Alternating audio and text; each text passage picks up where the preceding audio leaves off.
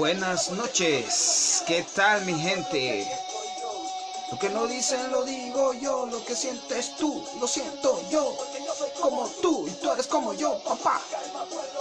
Soy yo, no dicen lo digo yo. ¿Qué tal? ¿Cómo están? Buenas noches, buenos días, buenas tardes. Eh, un saludo cordial, ya casi terminando. Bueno, que no, ¿verdad? Apenas estamos casi a medio mes de febrero. Pero sí, ustedes saben de que los días se van así de rápido. Vamos a ver si podemos compartir un poquito el video.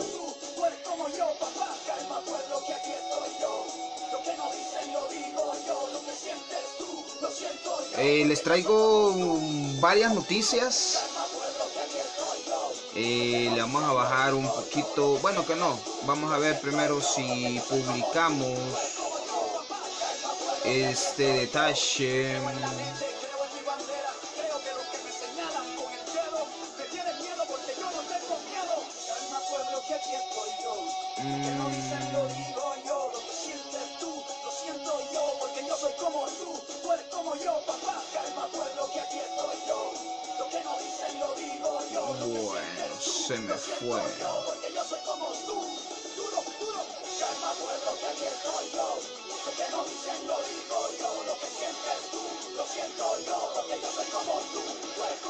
Tal? ¿Qué tal, señores? Bueno, entrémosle ya con todo.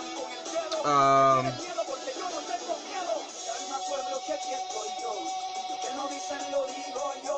eh, está, por ejemplo, uno de los principales temas que les traigo es sobre ya la proyección de parte de Yamil Bukele para el deporte de nuestro bonito país El Salvador.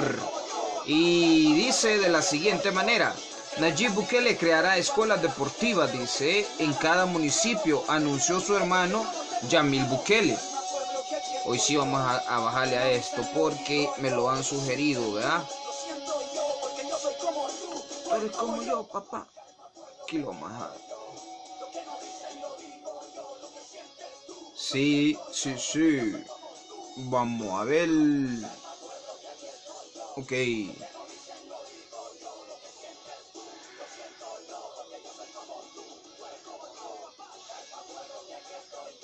Ok.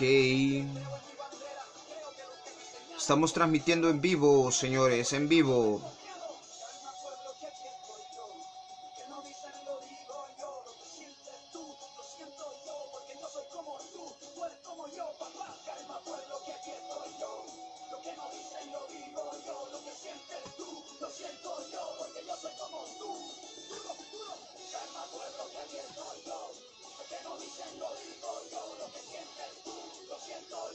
Pues sí, decía, anunció su hermano Yamil Bukele que implementará en el siguiente quinquenio. El plan contempla la creación de gestores deportivos en los 262 municipios, quienes se encargarán de escoger y preparar a los niños y jóvenes en las diferentes disciplinas deportivas. Así lo explicó Yamil Bukele. Entre esas, eh, estábamos verificando que ya Nayib Bukele eh, está anunciando la posible entrada de eh, la NBA en, en lo que sería en nuestro país, ¿verdad? Así que esas son las proyecciones de parte ya de eh, las cosas que se vienen con el quinquenio de Nayib Bukele y nuevas ideas. Eh, independientemente de cómo sucedan o vayan sucediendo las cosas, esto se va a poner bueno, señores. Y eh, a pesar de que ah, hay mucha incertidumbre por muchos lados, déjeme decirle de que de una u otra manera esto va a ser para bien para todo El Salvador. Eh, este también también también estoy viendo cómo comparto señores me van a permitir un poquito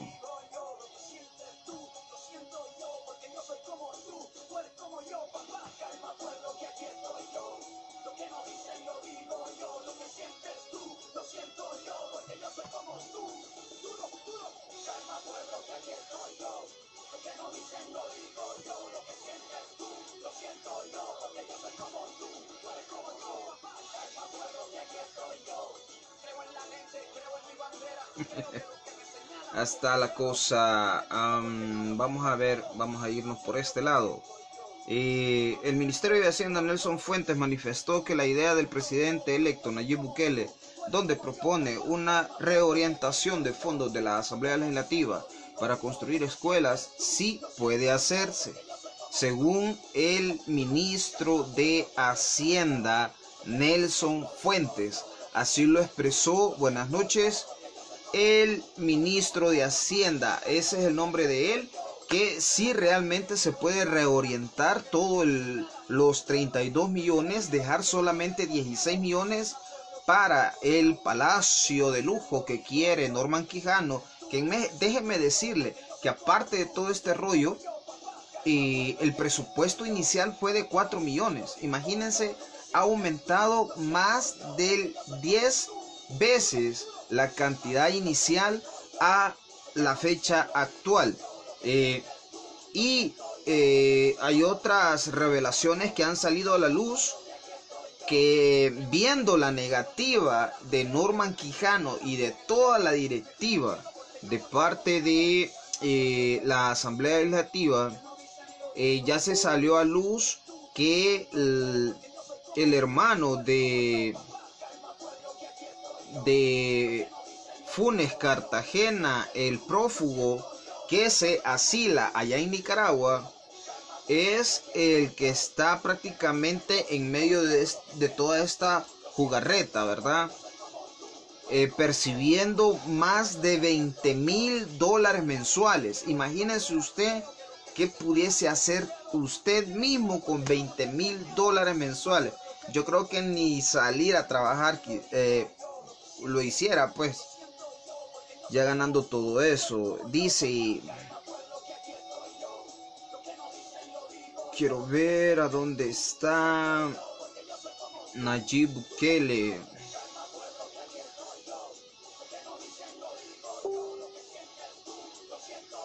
Comenta que dice mi estimado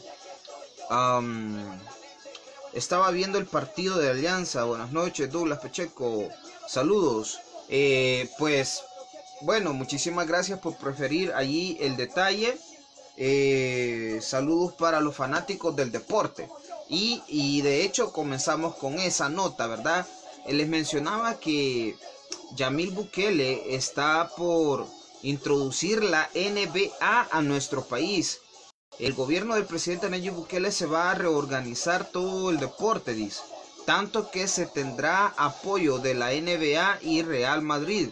Yamil Bukele asegura que se reestructurará completamente el aparato deportivo del país. Hay un presupuesto general de la nación que el presidente automáticamente designa a cada una de las carteras del Estado.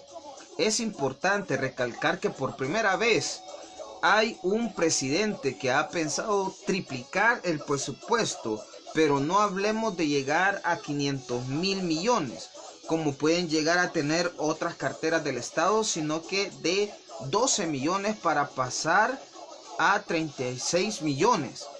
Todo, todos conocemos cuánto puede ser tendencia el deporte para la transformación del país, pero nadie había tomado el valor de querer hacerlo a través del deporte. Según la eh, fuente del bnewweb.com. Eh, la prioridad es tener la federación sólidas, las federaciones sólidas, tener a los atletas como se merecen, tener las condiciones como infraestructura deportiva, el apoyo para Tecla 2021 tiene que, que venir al 100%. Vamos a bajarle un poquito más quizás a la música.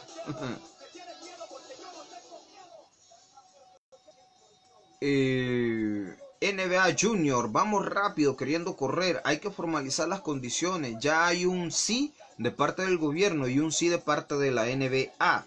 No más tarde de 60 días posteriores de la posesión del nuevo gobierno, esperamos tener acción en el campo. Termina Nayib Bukele, mi pasión es el deporte y soy un soldado más de todos los atletas y los dirigentes deportivos. No cabe la menor duda que el país va por excelente rumbo. Así lo recalcó Yamil Bukele. Así que esas son una de las sorpresas que ya se están dando a conocer por medio de la gente de que conformarán el equipo de trabajo de Nayib Bukele en su gabinete de gobierno. Jaciel Fer Fernández, saludos. Natalia Mendoza desde Los Ángeles, desde el Macaturpar, nos está sintonizando. Saludos. Eh, así está la cosa, señores. Buenas noches, buenas noches. Saludos, amigos, bendiciones. Ahí estamos pendientes.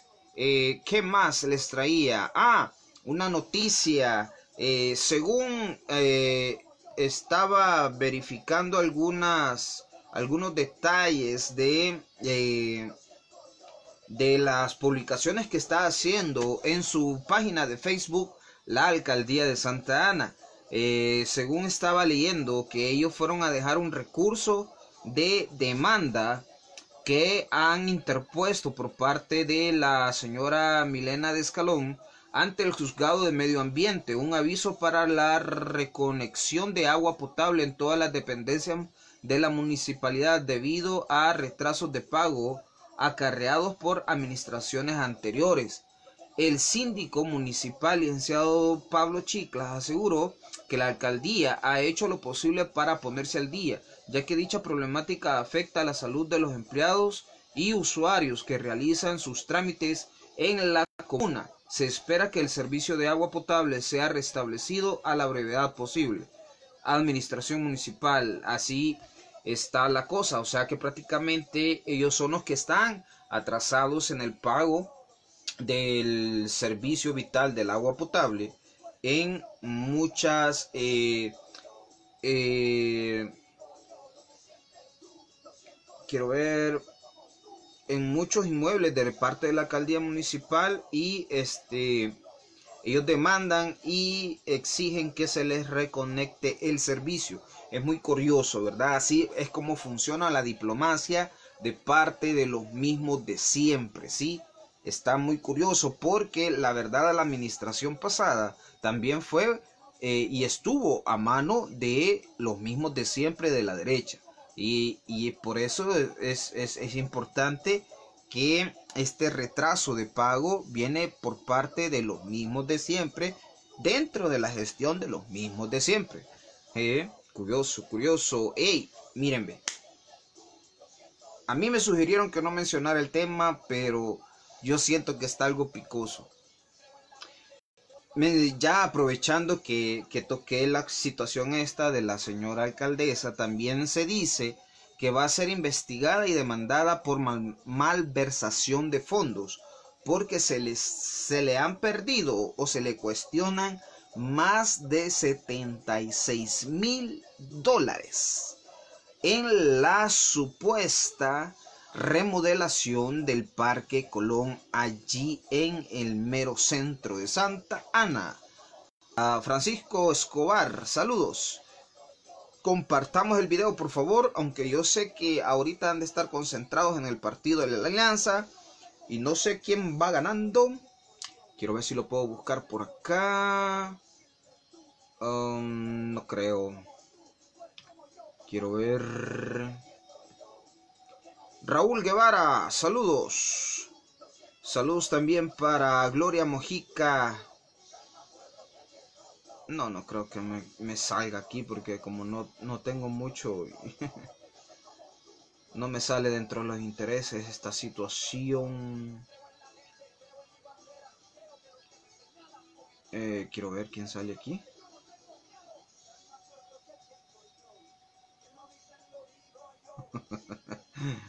Ahí anda Gollum vendiendo tarmalitos, dice. No, no me aparece, señores. Bien dije yo que no me iba a aparecer. Pero sí, eh, estuve leyendo ahí en las redes sociales que se agotaron bastantes las entradas para el partido del Alianza y Monterrey, parece.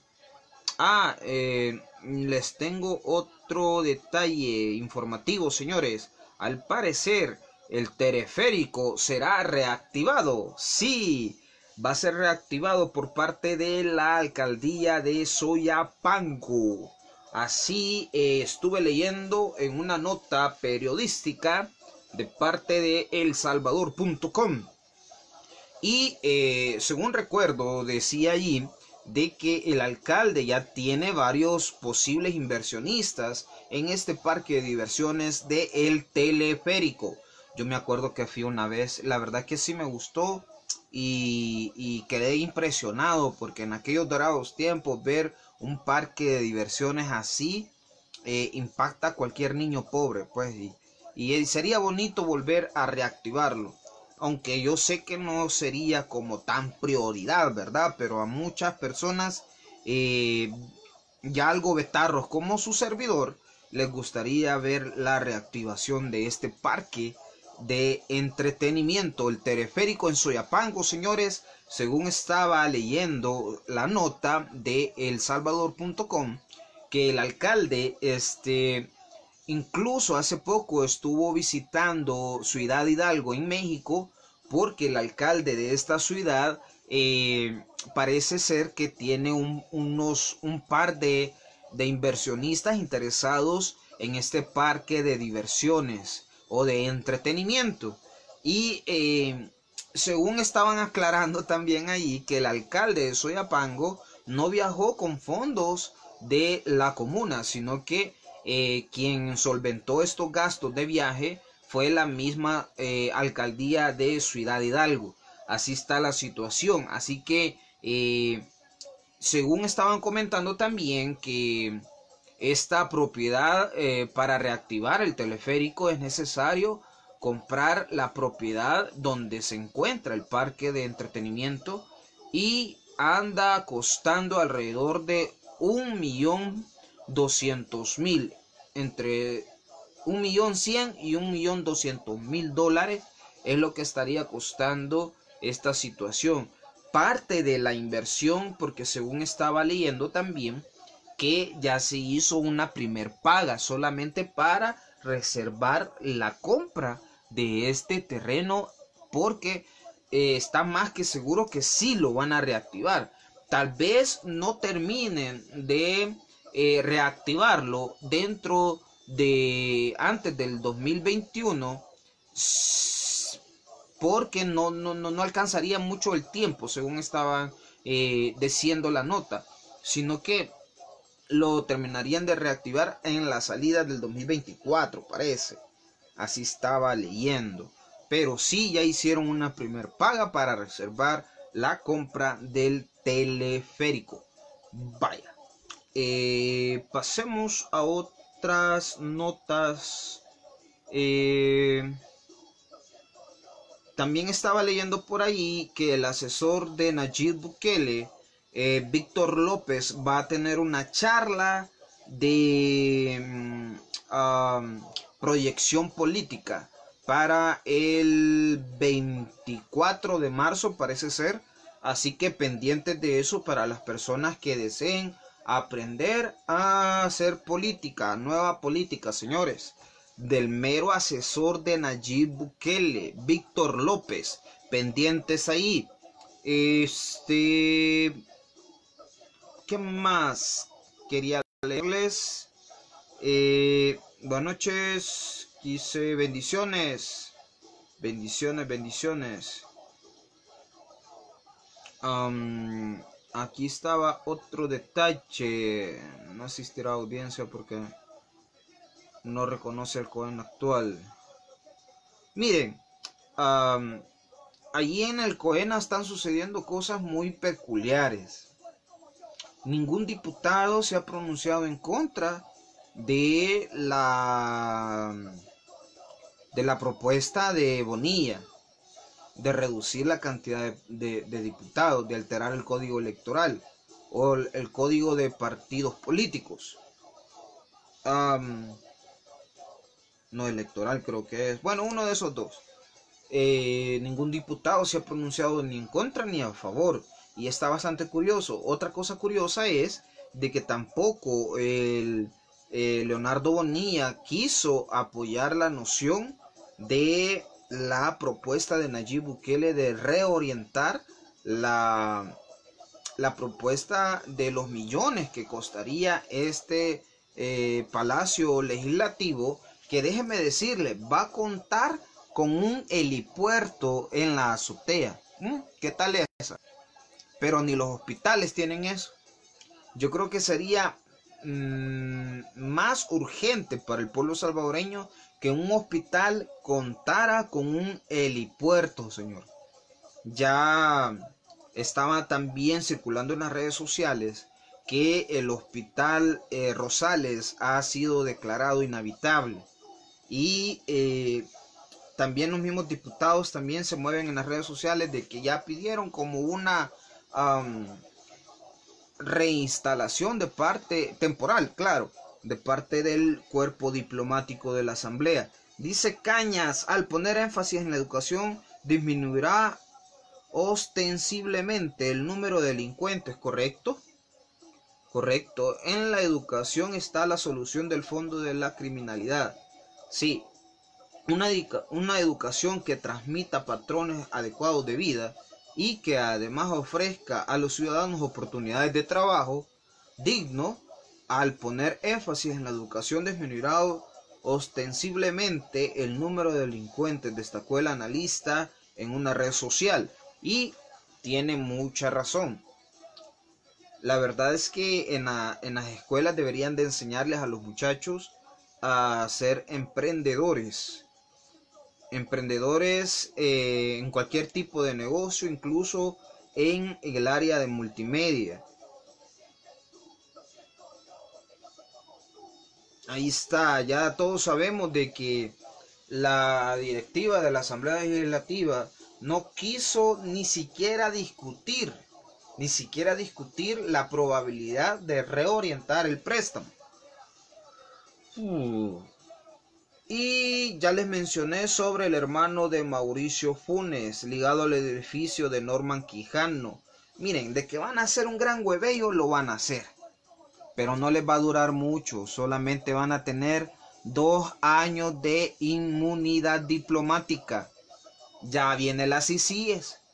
Faltan menos de tres meses o tres meses más o menos para que Nayib Bukele tome posición el primero de junio y empiece a echarle con todos los poderes eh, la creación de las CICIES y eh, agregándole a eso también la eh, embajadora de los Estados Unidos va a estar de la mano recibiendo la entrega de todas las administraciones institucionales del gobierno saliente hacia el equipo del gobierno entrante que es eh, de nuevas ideas de la mano con Nayib Bukele.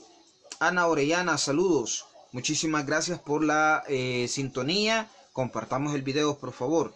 Este, alguien me preguntaba, ¿cómo es posible que el cuerpo de, de salud de nuestro país no se preste para pronunciar, hacer pronunciaciones a favor del pueblo salvadoreño? Eh, venga y les explico un detalle. muchos, muchos de los mismos de siempre son inversionistas o dueños de laboratorios clínicos, ¿sí? O laboratorios farmacéuticos o droguerías, como también se les conoce.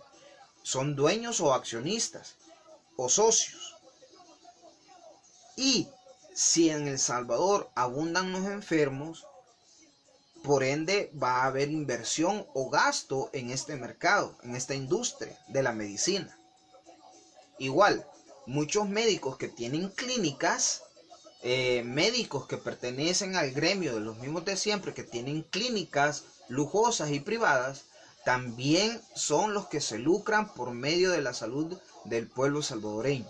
Ahora, esa es la principal razón por la cual los hospitales no tienen medicina, no tienen equipos adecuados y actualizados para que atiendan a la salva, al, al, ciudadano salvadoreño. Por eso es, porque hay un solo comercio que juegan con eh, la gente de nuestro país. Y otro detalle, está también, eh, eh, hay que involucrar también el, el, papel de las AFP. ¿Por qué?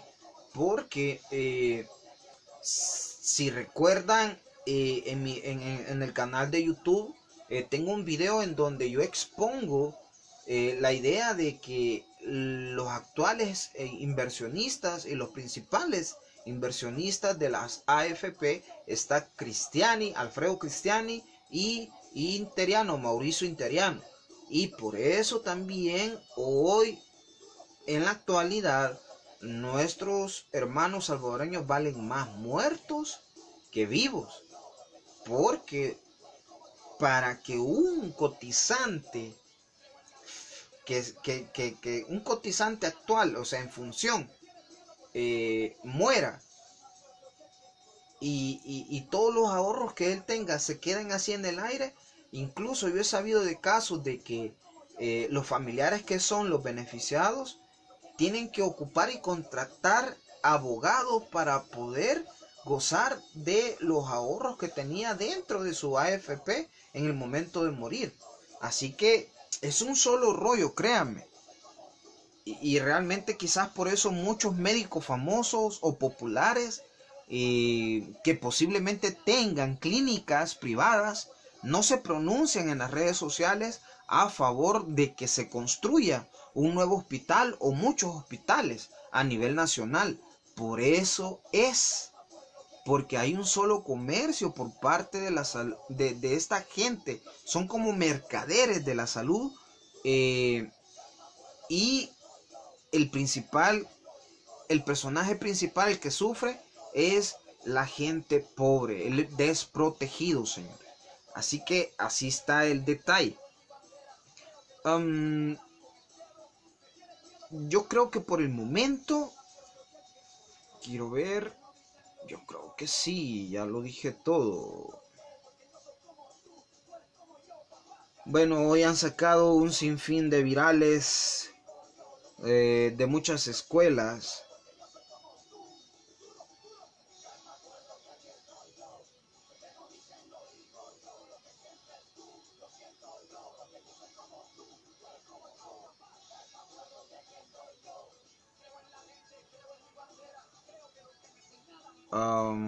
CONAPEJ, Consejo Nacional de la Persona Joven de El Salvador. Eh, hoy a las 8 pm Facebook Live con, tocando los siguientes temas, la participación juvenil, no quinquenio, sí, bueno. Eso es de parte de Nuevas Ideas, ah, Nuevas Noticias Santa Ana. Esa página está bonita, la maneja un, un colega en comunicaciones.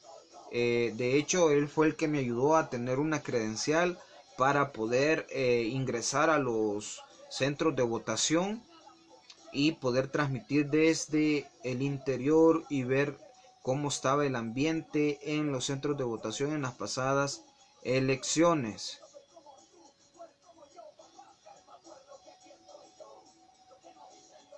Em, ah, Luis Reyes, saludos. Eh, Luis Reyes estuvo recibiendo un reconocimiento hace poco. Junta directiva de la Asamblea no admitió propuesta de Bukele para construir escuelas. Ahí está. Ahí lo decía portada la fanpage.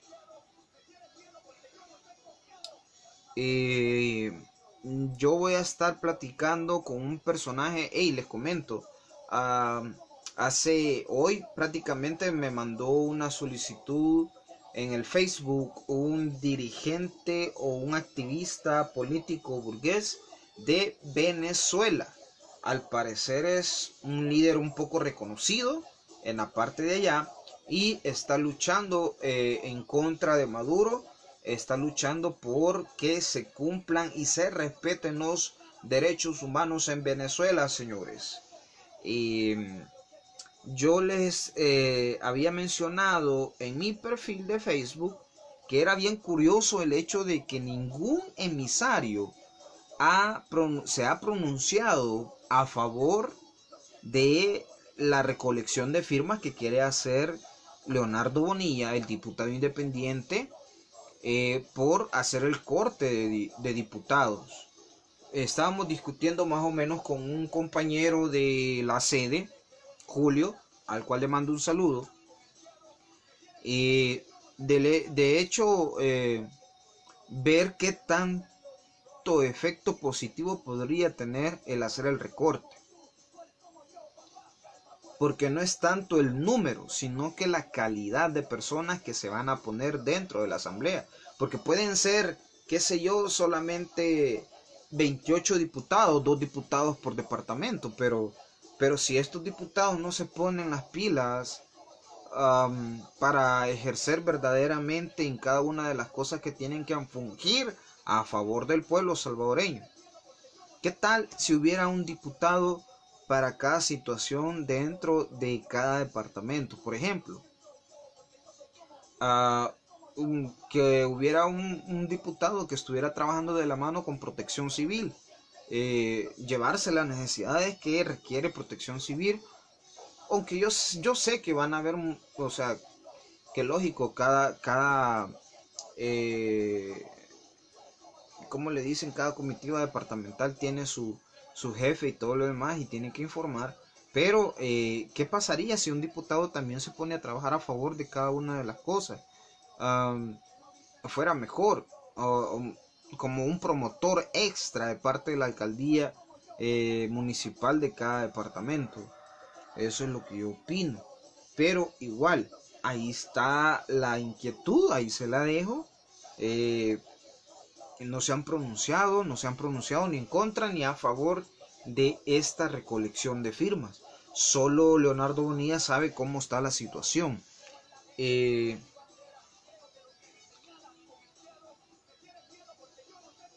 sepa. Quiero ver. No, lo vamos a dar hasta ahí. Sí. Saludos a todos. Dios me los bendiga.